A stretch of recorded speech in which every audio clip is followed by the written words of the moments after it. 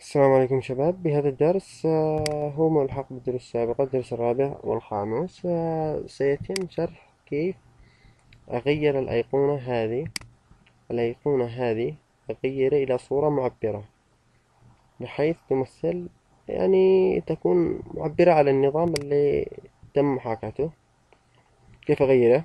من الأيقونة Entity من الأيقونة Entity الموجودة في ال project bar Basic Process Entity. نضغط عليه ضغطة click left نجي نروح لهنا Entity Type. أولا Entity Type. إيش هو ال entity type هو هذا ال entity type اللي عرفناه بال هنا. بال create entity type customer arrival قلنا إنه بي... بيتم التعامل معه برمجيا. شوفوا الآن كيف ارتبط هنا. entity customer arrival تم ربطه برمجيا. الآن إيش تغير الأيقونة. من الأيقونة initial picture الصورة. الصورة الابتدائية. إيش الصورة؟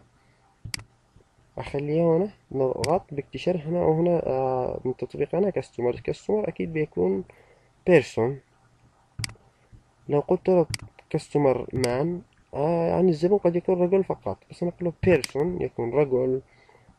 مرأة عجوز طفل أي حاجة. الآن نضغط run نشوف إيش بيحصل. أغير شوف الأيقونة تغير إلى رجل. هنا تغير لرجل ثاني.